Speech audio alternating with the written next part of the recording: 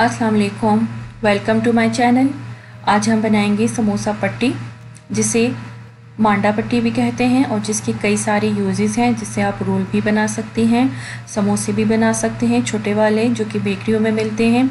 इसके अलावा फ्रेश समोसा पट्टी से रोल पट्टी से आप वांटन्स भी बना सकती हैं बॉक्स या स्क्वायर पेटीज़ भी बना सकती हैं। तो इसके कई सारे यूजेस हैं जो कि मैं आपको बाद में बताऊँगी। पहले हम रोल पट्टी बनाना सीखेंगे। सबसे पहले हम इसके लिए डो गूंदेंगे। इसके लिए हमें मैदा चाहिए आल पर्पस फ्लार चार कप भरकर मैं मैदा ले रही हूँ। साथ ही नमक हमें चाहिए वन टीस्पून आप अपनी टेस्ट के हिसाब से कम या ज़्यादा कर सकती हैं जितना आपको आटे में नमक आ, सही लगे आप उतना ही यूज़ करें। इसके अलावा ऑयल हमें चाहिए यानी कि तेल, दो चम्मच बड़े हमें इस आटा गूंदने में यूज़ होंगे और बाद में हम इसके बीच में लगाने के लिए भी अलग से ऑयल यूज़ करेंगे। इसके अलावा पानी हमें चाहिए। नॉर्मल रूम टेम्परेचर पे रखा हुआ पानी है ये। ये हसब ज़रूरत हमें चाहिए होगा। सबसे पहले हम नमक ऐड करेंगे मैदे में। अच्छी तरह से मिक्स करेंगे। और इसके बाद हम इसमें ऑयल ऐड करेंगे।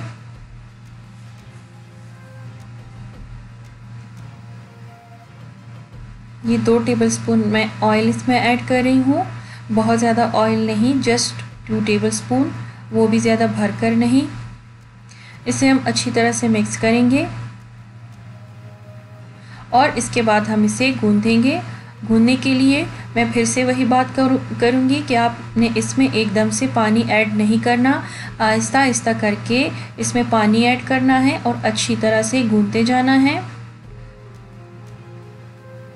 इसकी डो के लिए हम थोड़ा सा सख्त आटा गूंदेंगे। बहुत ज़्यादा नरम नहीं। इसके लिए हमने थोड़ा सा सख्त आटा गूंदना है, जो कि नॉर्मल हम रोटियों के लिए आटा गूंदते हैं। तो उससे थोड़ा सा हमें सख्त आटा चाहिए। इसलिए हम थोड़ा संभल कर इसमें पानी यूज़ करेंगे। आहिस्ता आहिस्ता करके आपने इसमें पानी ऐड करते जाना है और जैसे ही आपको लगे कि डो सख्त होती जा रही है तो आपने पानी पानी का हाथ रोक लेना है। ये आप देख सकती हैं कि इस स्टेज पर मैं इसे लेकर आ गई हूँ। थोड़ा सा सख्त आटा है तो इसके ऊपर मैं थोड़ा सा पानी लगाऊँगी और इसे 10 मिनट के लिए ढक कर रख दूँगी। थोड़ा सा रेस्ट देंगे हम। अच्छी तरह से आ, मैंने इसे 10 मिनट रेस्ट दे दिया है। और अब हम फिर से इसे गूंदेंगे अच्छी तरह से इसे तकरीबन सात आठ मिनट तक हम इसे अच्छी तरह से गूंदेंगे ताकि अच्छे से नरम सी डो तैयार हो जाए। अगर हाथों पे चिपक रहा हो तो आप हाथों पर आ, पानी लगा सकती हैं और इसके बाद हम इसे तकरीबन 30 से 40 मिनट के लिए ढक कर, रख कर छोड़ देंगे। और ये आप देख सकती हैं 30-40 मिनट के बाद ये अच्छे से हमारी डो तैयार हो गई है। और अब हम डो को बीच में से दो हिस्सों में लेकर आएँगे और एक हिस्से का हम ऐसे करके रोल बनाएँगे। रोल बना लेने के बाद हम इसे कट करेंगे। याद रखें, डो को रेस्ट देना बहुत ज़रूरी है। 30 से 40 मिनट रूम टेम्परेचर पर इसे आपने रख लेना है, उसके बाद इसे यूज़ करना है। तो ये बिल्कुल रेडी होगा। बिल्कुल सॉफ्ट नरम मुलायम आपका डो रेडी होगा। अब हम इसके पेड़े बना लेंगे। नॉर्मल साइज़ के पेड़े। पेड़े बना लेने के बाद हम इस पर थोड़ा सा खुश्क मैदा छिड़केंगे और इसे ढककर तकरीबन पाँच मिनट के लिए रेस्ट देने के लिए छोड़ देंगे। मैं यहाँ पे थोड़े बड़े पेड़े ले रही हूँ क्योंकि मुझे वो वाले समोसा पट्टी बनाना है जो कि कमर्शली मिलते हैं। तो वो वाली पट्टी मैंने बनानी है। पाँच मिनट रेस्ट मैंने दे दिया है इसे और अब हम इसे बेलेंगे। अब हम इसे इस तरह बेलेंगे कि मीडियम साइज़ की चपाती हमारी ऐसे करके तैयार हो जाए। एक एक करके हमने सारी चपातियाँ बेल लेनी हैं। साइड पे रखते जाना है। इस तरह मैं दूसरी चपाती भी बेलूँगी और इसे भी साइड पे रखूँगी।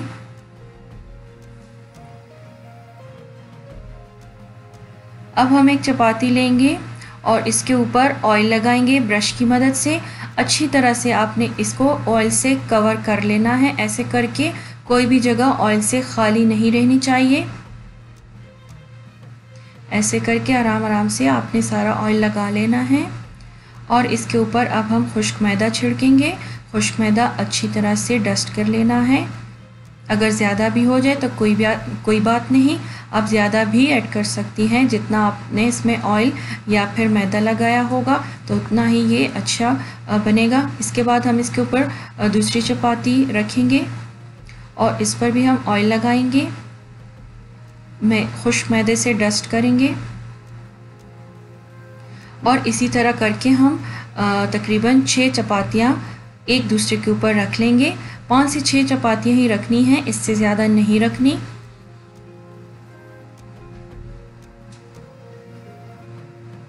पाँच से छः चपातियाँ बेलकर आपने एक दूसरे के ऊपर रखते जाना है ऑयल से ग्रीस करते जाना है और उसके बाद इस पर फ्लोर जो है, खुश्क मैदा, वो हमने इस पर डस्ट करते जाना है।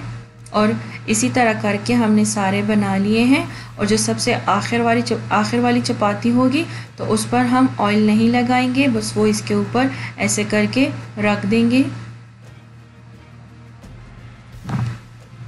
अच्छी तरह से दबाएँगे और फिर हम इसकी एक बड़ी सी चपाती बेल लेंगे। खुश्क मैदा छिड़कते हुए फ्लोर पर आ, किसी भी सरफेस पर आप ऐसे करके खुश्क मैदा छिड़क कर आप इसे बेलते जाएँ और एक बड़ी सी चपाती बना लें। अच्छी तरह से बेल लें। इस तरह आप देख सकती हैं कि मैंने एक बड़ी चपाती इसकी बना ली है। अब हम तवा गरम करेंगे। तवे को पहले तीन चार मिनट तक तेज़ आँच पे गरम करना है और फिर इसकी आँच बिल्कुल आहिस्ता करके, बिल्कुल स्लो हीट पर, बिल्कुल ही लो हीट पर इसे लेकर आना है। और इसके ऊपर हमने ये जो हमने चपाती बनाई थी तो ये हम डालेंगे। अब आपने इसे बिल्कुल लो हीट पर पकाना है, तकरीबन दो से तीन मिनट आप देख सकती हैं कि इसका कलर आहिस्ता आहिस्ता चेंज होता जाएगा। जैसे इसका कलर चेंज होना शुरू हो जाए, आपको नज़र आ रहा होगा तो इसके बाद हम इसकी साइड पलटेंगे। इसको ध्यान से पकाना है। ये बहुत ज़्यादा कुक ना हो जाए। अगर ये बहुत ज़्यादा कुक हो गया तो फिर ये सख्त हो जाएगा, नरम नहीं रहेगा। अब हम इसकी साइड पलटेंगे। आप देख सकती हैं कि इसका कलर चेंज हो गया है। हमने इसे एक से दो मिनट पका लिया है। अब हम इसकी साइड पलटेंगे। आप देख सकती हैं कि कितना इजीली इससे, इसकी जो परतें हैं वो अलग हो रही हैं। इसी तरह हम इसे दूसरी साइड से भी कुक करेंगे। और अब हम इसे उतार लेंगे।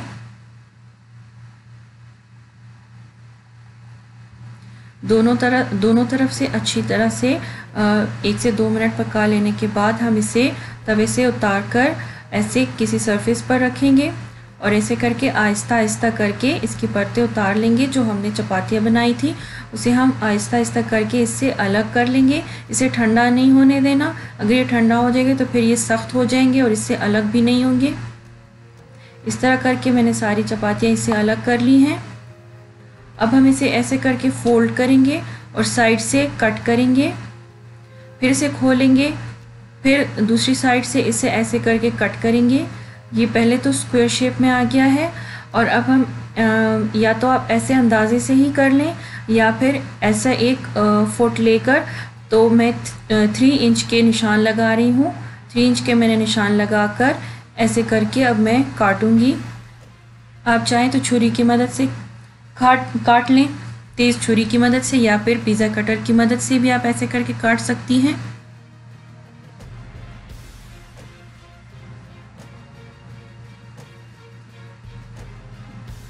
कट कर लेने के बाद हम इसे अलग करेंगे। ध्यान से इसे कट करना है।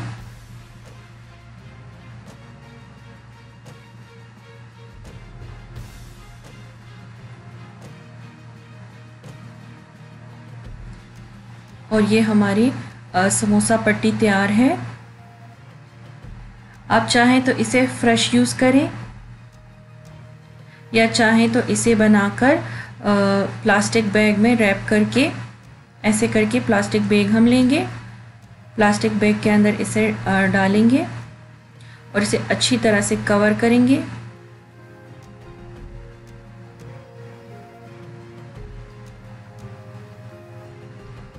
अगर आप चाहें तो आप इसे फ़्रेश यूज़ कर लें और अगर आपने इसे बाद में यूज़ करना है तो आप इसे बेशक किसी प्लास्टिक बैग में डालकर अच्छी तरह से कवर करके आप इसे इसे फ्रीज़ भी कर सकती हैं। फ्रीज़ कर लेने के बाद जब भी आपको इसे यूज़ करने का इरादा हो तो आप इसे ओवरनाइट के लिए फ्रिज में रख दें। बाहर रूम टेम्परेचर पे आपने नहीं रखना। फ्रीज़र से निकाल कर पहले फ्रिज में रखें और इसके बाद आप इसे यूज़ करें। और अगर फ्रिज में रखना हो तो आप इसे दो से तीन दिन के अंदर यूज़ कर लें। इससे ज़्यादा आपने इसे नहीं रखना फ्रिज में। ये आप देख सकती हैं कि मैंने इसे प्लास्टिक के अंदर डाल लिया है। प्लास्टिक बैग है, इसे मैंने ऐसे करके अब मैं इसके ऊपर टेप लगा रही हूँ ताकि ये टाइट हो जाए। और इस तरह फोल्ड करके मैंने पीछे के तरफ़ भी इस पर ऐसे करके टेप लगा लिया है। और जो हमारा रेस्ट ओवर था तो इसे हम ज़ाया नहीं करेंगे। इसे भी हम काट कर किसी प्लास्टिक बैग में रख कर बाद में पापड़ी के तौर पर यूज़ कर सकती हैं। नॉर्मल आप इसे घी या ऑयल में फ्राई करके पापड़ी के तौर पर यूज़ कर सकती हैं। अब हम रोल बनाएँगे। रोल बनाने के लिए मैंने थोड़े से छोटे छोटे पेड़े लिए हैं। पेड़े उसी तरह बनाकर और उसी तरह हम बेलेंगे। छोटे छोटे ऐसे करके छोटी चपातियाँ आपने बेल लेनी है, साइड पे रखते जाना है। ये भी हम पाँच से छः अदद चपातियाँ ही लेंगे एक वक्त में। इस पर ऑयल लगाएँगे, खुश्क मैदा छिड़केंगे और दूसरी चपाती रखेंगे। और इसी तरह हम खुश्क मैदा और ऑयल लगाकर इसे एक दूसरे के ऊपर रखते जाएँगे।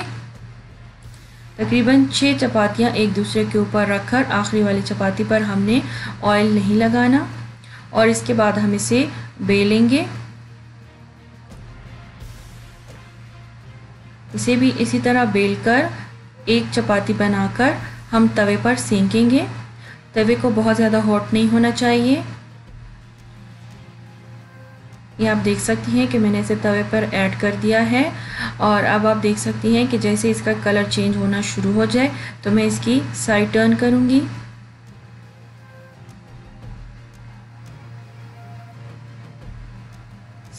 साइड मैंने इसकी टर्न कर ली है और आप देख सकती हैं कि इसकी चपातियाँ जो इसकी परतें हमने बनाई थी तो वो कैसे इससे आसानी से अलहदा होती जाएँगी।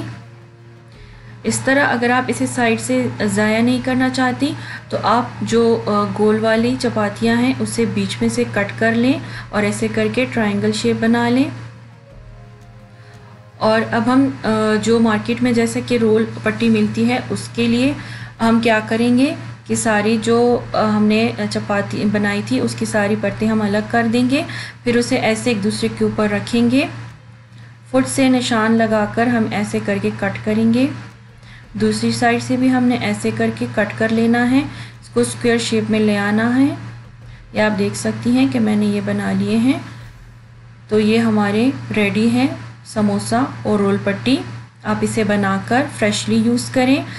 समोसे बनाने के लिए यूज़ करें। रोल बनाने के लिए यूज़ करें।